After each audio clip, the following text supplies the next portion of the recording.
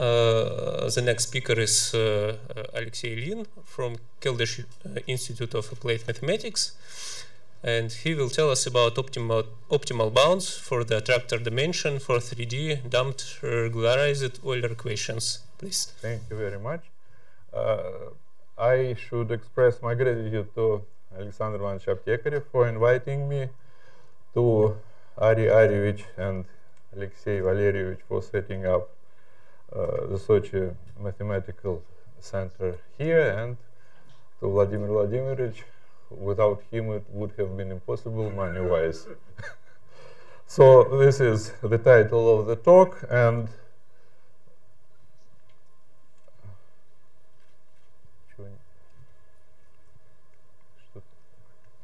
не переворачивается.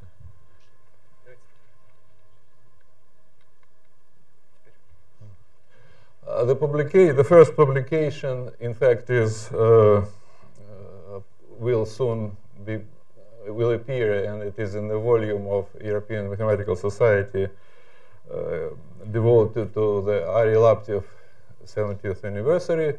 And the second three-dimensional paper uh, is just finished and is in the state of polishing. So this is a joint work with Sergei Zelik, and later on his postgraduate student Anna Kostianko joined in. Uh, uh, the first part is available on the arXiv. So the, the, a little bit of history. Uh, let us consider the two-dimensional Euler equations on the torus. So this is the equation, and we added a damping term, a homogeneous damping term, uh, which makes the system uh, dissipative. And in fact, it was Valentin, Valentin Pavlovich Dymnikov who told me that in atmospheric models, the dry friction is much more important than uh, the molecular viscosity term. So due to the, this orthogonality condition, the conservation of entropy, we immediately obtain that this uh, system is dissipative and we can easily construct a solution of class L infinity in H1, which is enough to construct a solution. However, uh, uh, it is not enough for the uniqueness. Uniqueness holds in the Yudovich's class of bounded vorticity solutions. Uh, and one way uh, to, to regularize this equation is to add a small viscosity term uh, here. Well, this system is studied under the assumption that gamma is fixed and nu is small. Then there's no problem with the uniqueness. Again, we live on the torus or on a manifold without boundary where, we have the orthogonality condition on the previous slide. And uh, it is easy to uh, construct following uh, the well-established by now theory, the global attractor of this system. In the space H, uh, divergence-free L2 um, functions. So what is uh, the global attractor? So we have a solution semigroup acting in a Hilbert-Torrey-Banach space. Then the set A is, is called the global attractor of the semigroup, the solution semigroup generated by a differential equation, autonomous differential equation. If this set is compact in H, it is strictly invariant. It attracts the images of bounded sets in H. So every uh, bounded set is eventually find itself in a neighborhood of a, uh, attractor after, after a finite time t and never leaves it. And this is uh, the property 4 is an important characterization of the attractor which is basically says that a attractor is a, is a section at arbitrary time, for example, at time t equals 0, of the set of all bounded solutions on, that are bounded on the whole line. And uh, uh, what is the fractal dimension of a compact set in a Hilbert or Banach space? Uh, H, we said that a compact set X has a fractal dimension less than d if the minimum number of balls of radius epsilon required to cover this set satisfies this bound. Roughly speaking, it behaves like uh, epsilon to the negative d, which is very, very natural if you think of the geometric definition of the dimension. Uh, in this case, they coincide. So an older result of ours when we studied this uh, damped Euler system uh, with small Navier-Stokes perturbation, we were able to uh, construct an attractor, and most importantly, we proved sharp uh, two-sided estimates for its dimension.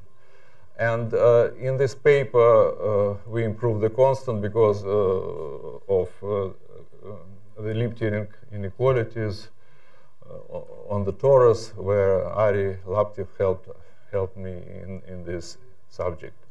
So this is, uh, the upper bound is universal, and the lower bound is realized on the so-called Kolmogorov flows. This is two-dimensional. I will speak about Kolmogorov flows a little bit later. And now we turn to uh, the subject of recent work, where we uh, proposed a different uh, uh, way of regularization of the Euler equations with damping, namely by means of the so-called alpha models. So we, what we are doing here, so this is equation, and u bar is a smoothed vector field.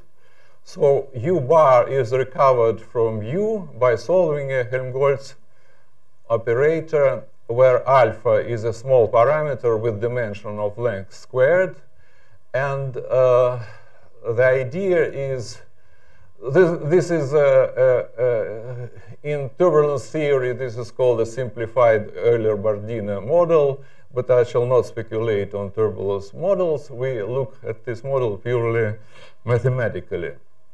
So one can expect that when alpha is small, then uh, uh, u bar will be a smoothed vector field uh, such that uh, the higher frequencies with respect to x are filtered out. Uh, and we study this system in dimension 2 and dimension 3 in three um, settings as far as boundary conditions are concerned. On the torus, in this case, we assume the standard zero mean condition for the velocity. In the whole space, and in a bounded domain, uh, when U is supplemented with the Dirichlet boundary conditions, and U uh, is recovered fro from U bar by solving the Stokes operator. But for the moment, you can forget about the Stokes operator and think that we work uh, where the Leray projection commutes with the Laplacian, namely without boundaries, so on the torus or in, in RD. So this is the, the equation that we are going to study. And the phase spaces are accordingly defined. On the torus, bar U, the smooth vector field lives in H Sobolev space H1 with zero mean condition. It lives in a Sobolev space uh, in the case of the whole space and it lives in a space with zero boundary condition if we consider the case of a bounded domain. uh, so if we exclude the pressure and apply uh, the inverse uh, operator to the nonlinearity, where this is the Stokes operator, this is the Helmholtz-Leray projection, projecting vectors to the uh, divergence-free vectors fields with uh, non-penetration boundary condition, then we see that uh, this operator is uh, bounded, in fact, smoothing. And in two-dimensional, it maps H1 to H, barely misses H2. And in, in three dimensions, it maps H1 to H3 halves. So this is the equation with bounded with a bounded nonlinearity, and therefore there is no problem in constructing a local solution by the Banach contraction principle. And the fact that it uh, lives globally immediately follows from the a priori estimate if we, we, we, multiply the equation by bar u. This is very simple. So the semigroup, the solution semigroup is well defined, and u bar is uh, the global solution at time t. And this is uh, the first half of the main result. So in two dimensions, in, for each type of boundary conditions, there are three types, torus, domain, and R2. The fractal dimension, the system possesses a global attractor in the phase space H, and uh, it satisfies, its fractal dimension satisfies the following explicit uh, upper bound. So in case of the torus, in, in case when there is no boundary, uh, we can choose the minimum of the two. And in the case of bounded domain, we have uh, this bound. In 3D case, in all three boundary conditions, the, the, the, dimension estimate is the same. Basically, the fact that it's the same, it's not surprising because we are not using uh, inequalities involving uh, length scales. Uh, so this is uh, the first. Uh, the first part of our main result. And the second part uh, says that in case of the torus, both in two dimensions and in three dimensions, this estimate is sharp as alpha goes to zero. The, the lower bounds, uh, I uh, explain a little bit how the lower bounds are obtained uh, are based on the instability analysis of the generalized Kolmogorov flows. So we consider uh, a, uh, a right-hand side uh, sign as of the second variable, uh, where lambda s is the amplitude, gamma is gamma, uh, and the same force in the three-dimensional case. And S is a, integer parameter at our disposal. The corresponding solutions are as follows because they're nonlinear. The corresponding stationary solution are as follows. And uh, uh, look, looking basically the same but without gammas. And we, uh, what we are doing, we are looking at the unstable manifold of uh, the solu of the of this stationary solution. Uh, unstable manifold always lies in the attractor because uh, since the attractor is a collection of all trajectories bounded on the whole line, so if we uh, start on a uh, if we start on an unstable manifold of a stationary solution, then each solution is bounded forward and backward it will uh, end up in the stationary point. So the solution is bounded, therefore unstable manifold lies in the in the attractor and therefore bounds from below its uh, dimension. So the technical uh, theorem of ours says that if we choose the amplitude in this way, where C1, all C are absolute and effectively computable constants, if we choose uh, the amplitude in this way, then in two dimensions we have a lower bound for the dimension of the unstable manifold like this, and in three dimension like this. And uh, once we have this, this is a bit uh, technical result. In two dimensions, we use uh, the development of Meshalkin-Sinai construction using uh, continued fractions and a passage from uh, the two-dimensional torus to the three-dimensional torus is uh, done by the Squire's theorem, which says that uh, the three-dimensional shear flows, the instability in three-dimensional shear flows is basically essentially two-dimensional. But this is technical. I cannot uh, say more about this. On the other hand, on the other hand, the corollary is straightforward. Once we have this, we immediately obtain this lower bound by just by calculating all the uh, physical uh, entries in the right hand side. Namely, so this says that uh, the, the, dimension of the um, unstable manifold bounds from below the dimension of the attractor. And uh, uh, since S was at our disposal, we set it uh, just like alpha to the negative one half calculate the norms of lambda and the right-hand side, and express the lower bound, say in three dimension, s cube. Uh, uh, so this is just uh, calculation of s, and we divide and multiply and divide by alpha js, and use the fact that, uh, that this norm is given by this expression. And this the same in, in, in, in the two-dimensional case.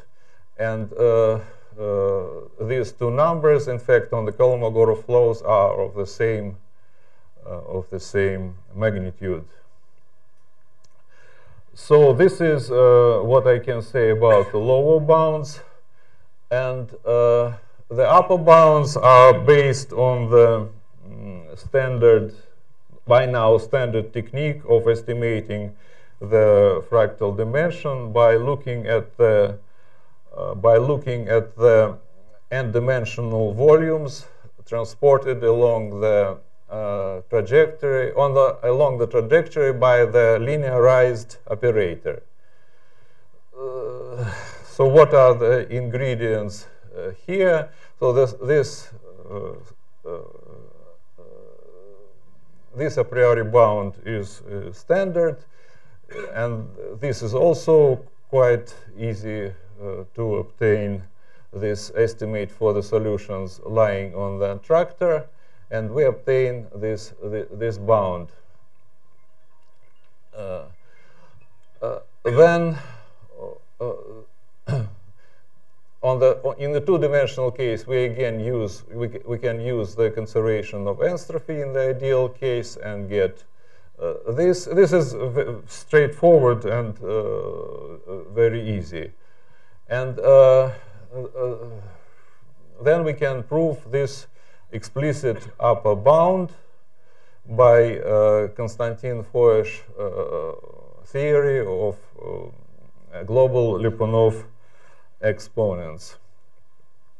The idea is to look at the linearized operator and to see how, how uh, n-dimensional volumes, are, phase space volumes are transported along the solutions lying on the attractor. And we use this uh, uh, scalar product in, in Sobolev space H1 to get the cancellation of the nonlinear term we get play with the inverse and direct Helmholtz operator and eventually get to the well-known uh, orthogonality property in the Navier-Stokes equations.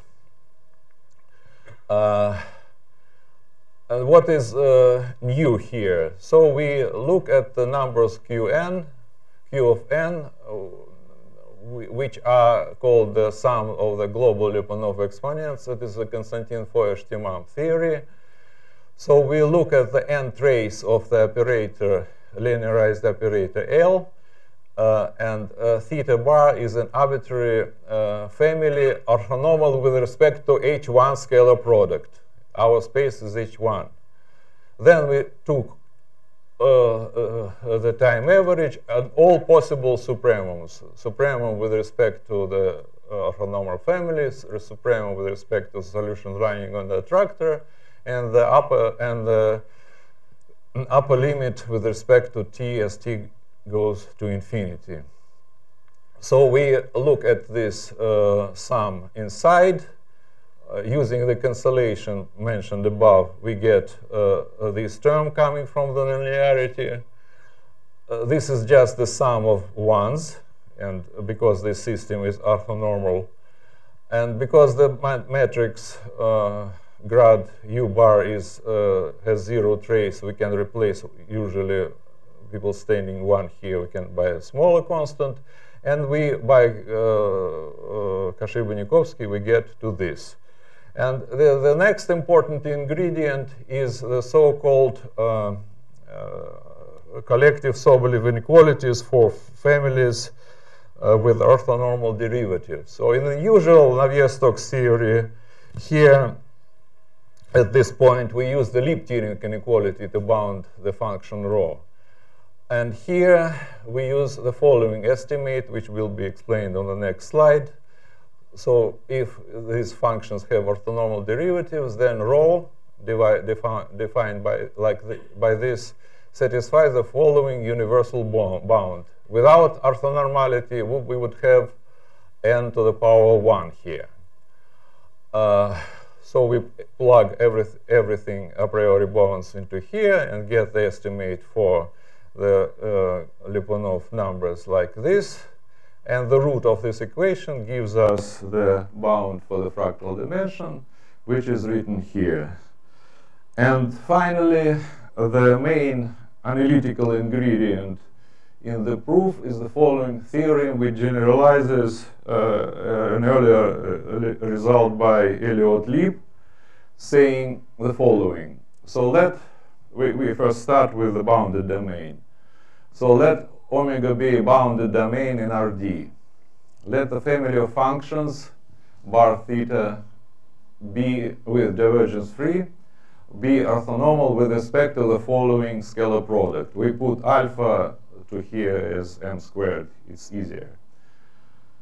Then the function rho satisfies the following uh, two, two estimates in uh, D2 and D3 this is a coincidence that these constants coincide.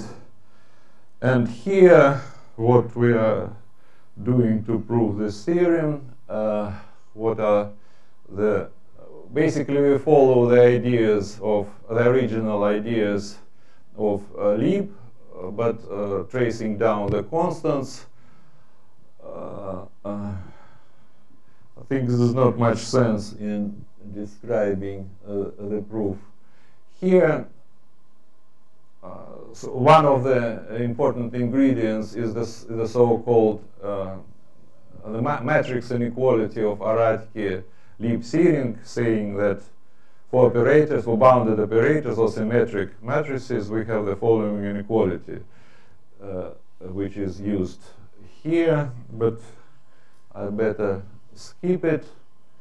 Uh, uh, so we, cal we, calculate the fundamental solution of the scalar operator, uh, use it for the Stokes operator, uh, and get the result. And rescaling back to alpha from m squared, we get uh, uh, the inequality that we need.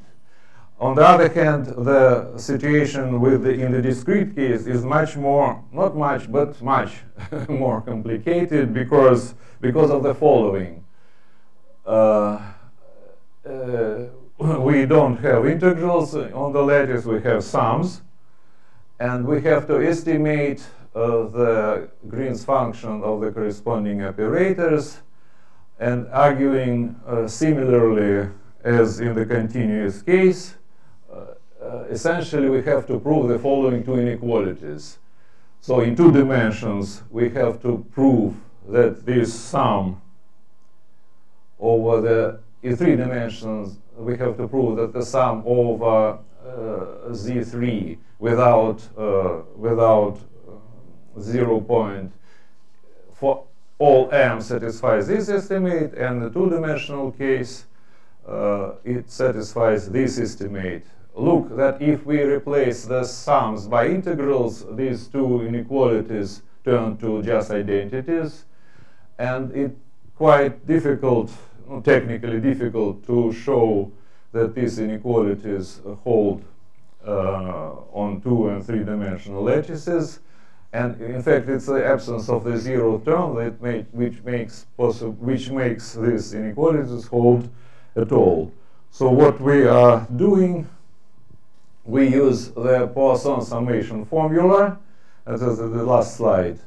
And we need uh, we have to estimate the, this uh, function f of m. We use the Poisson summation formula. Since the zero term is missing here, we have minus m1 over m squared here, plus the summation over uh, the rest of the lattice of the Fourier transforms. But the Fourier transforms are exponentially decaying, and it is clear that for large m, this is smaller than this, and uh, this, therefore, this is smaller than pi. And uh, after some work, we can do it analytically, completely analytically in this case, because we know uh, the Fourier transform explicitly. In both cases, in three dimensions, it's exponential, and in two dimensions, uh, Bessel function k1. Uh, and this is it. Thank you very much for your attention. Thank you. Any questions or comments to the speaker? May I ask you a question?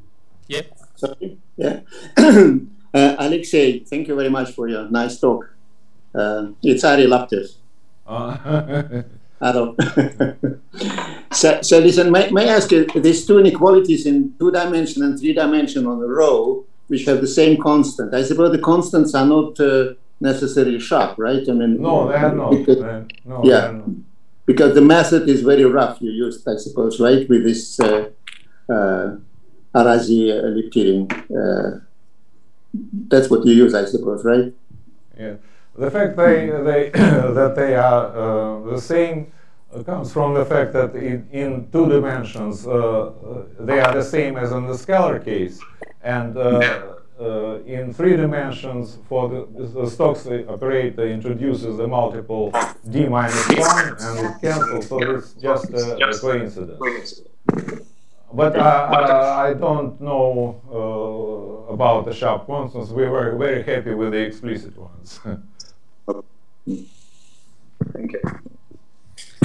Okay, any other? Okay, so just a moment.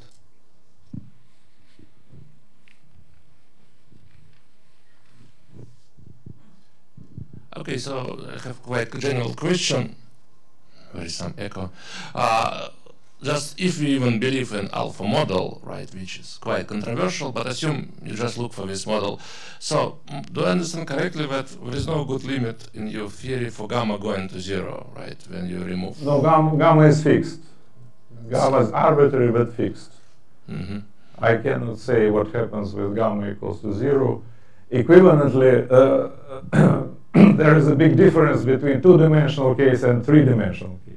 In two-dimensional case, we can let alpha go to zero and prove that the limiting object exists. It's the attractor which attracts in the strong topology. It's a multi-valued function, uh, semi-group, but still the attractor exists in the strong topology and attracts uh, function uh, and contains the attractors with alpha positive in a small neighborhood. In three dimensions, there is no limiting object at all. Mm -hmm. Yeah. Thank you. Okay, thank you very much uh, once again. Uh, uh, so let's thank the speaker.